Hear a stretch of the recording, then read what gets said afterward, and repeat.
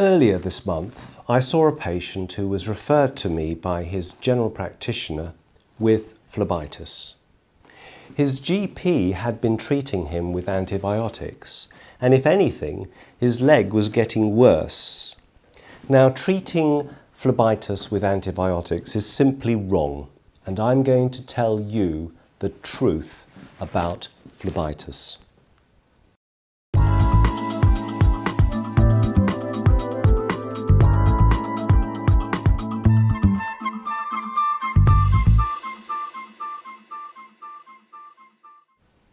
Phlebitis is simply a medical term indicating that there is inflammation in the vein.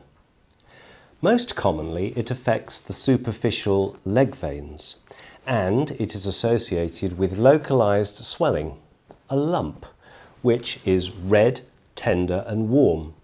Sometimes the lump is actually hot and painful.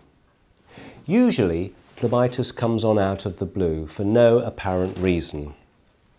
But very occasionally, I see phlebitis as a complication of some cancers, intravenous arm catheters used in hospitals, drips, or sometimes as a reaction to some very irritant intravenous injection, such as chemotherapy.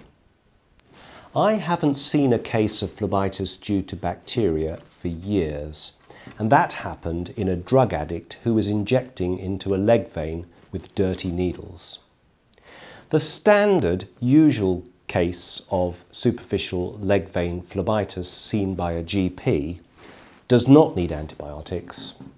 Antibiotics may do more harm than good. Now, until recently, phlebitis in superficial leg veins was thought to be a rather trivial condition and many doctors dismissed phlebitis as being of no real significance. Even the term phlebitis is often misunderstood and misused.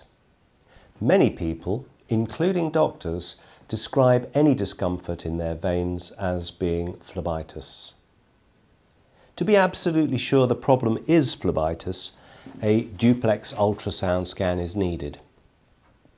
The ultrasound appearance of phlebitis is characteristic and diagnostic. The vein wall is thickened and there is a variable amount of clot inside the vein. A scan is the only way of checking the vein directly and confirming that the vein is inflamed.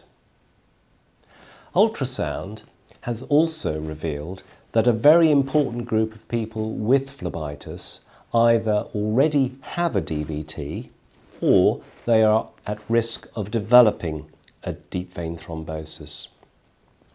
The inflammation in the wall of the veins affected by phlebitis activates clotting of the blood inside these veins, and this clot can extend uh, or spread from the superficial veins into the deep veins. So this is another very important reason why everyone with phlebitis should have a duplex ultrasound scan. A duplex scan is the only way to correctly identify people who already have a DVT and who need treatment to prevent that clot leaving the leg, travelling around the body and lodging in the lung.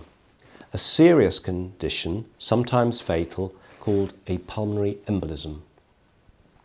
A duplex scan will also determine whether these people with phlebitis are at risk of a DVT and who need preventative treatment. So the first important message is that everyone with phlebitis should have a duplex ultrasound scan. So how should superficial leg vein phlebitis be treated? Well, we can only offer the correct treatment for phlebitis if we know the results of the duplex scan. The scan may show that the phlebitis is only in a small area and that only a limited number of superficial veins are affected. If there is very little associated clot in these superficial veins, and if this clot is well away from the deep veins, then treatment with aspirin or aspirin-like medication called non-steroidal anti-inflammatory drugs, and compression stockings may be sufficient. A good medical sock will support the vein while it is recovering, and the anti-inflammatory tablets or cream will ease the swelling and pain. If the phlebitis is extensive, or if the clot in the superficial veins is already close to the deep veins, a course of blood thinning injections, anticoagulant heparin medication, is, is needed to reduce the significant risk of developing a DVT. Of course, if the scan shows that a DVT has already formed, full anticoagulant treatment for several months is needed.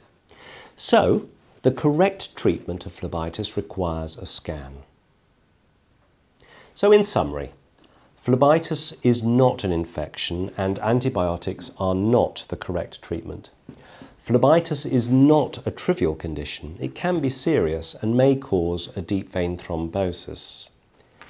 Everyone with phlebitis should have a duplex ultrasound scan to confirm the correct diagnosis, to check for DVT, and to guide the correct treatment.